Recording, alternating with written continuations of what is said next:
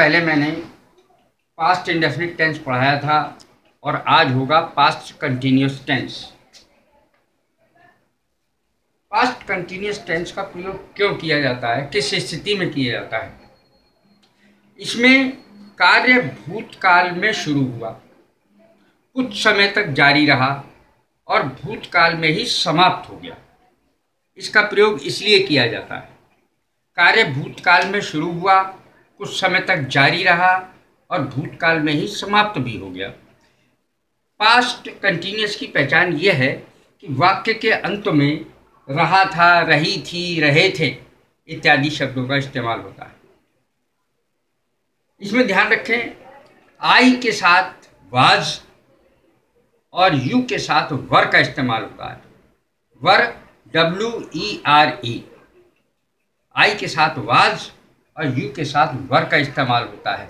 अर्थात singular subject के लिए वाज प्लस क्रिया की फ़र्स्ट फॉर्म में आईएनजी और उसके बाद ऑब्जेक्ट आता है। क्रिया की फ़र्स्ट फॉर्म में ही आईएनजी का प्रयोग होता है, ये मैं पहले भी बता चुका हूँ। तो देखिए, मान लिया इसका अफर्मेटिव सेंटेंस हमें बनाना है। मैं किताब पढ़ रहा था। I was reading the book मैं किताब पढ़ रहा था तो आई तो करता है वाज सहायक क्रिया है।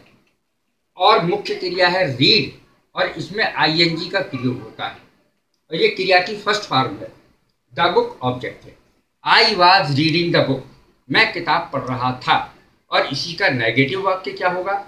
कि वाज के या वर के बाद नॉट आएगा इसमें सेंटेंस में देखिए I was not reading the book अर्थात मैं किताब नहीं पढ़ रहा था। अब इसी के इंटेरोगेटिव को अगर हम लें तो वाज का प्रयोग प्रारंभ में होगा, वाक्य के प्रारंभ में होगा। Was I reading the book, क्या मैं किताब पढ़ रहा था?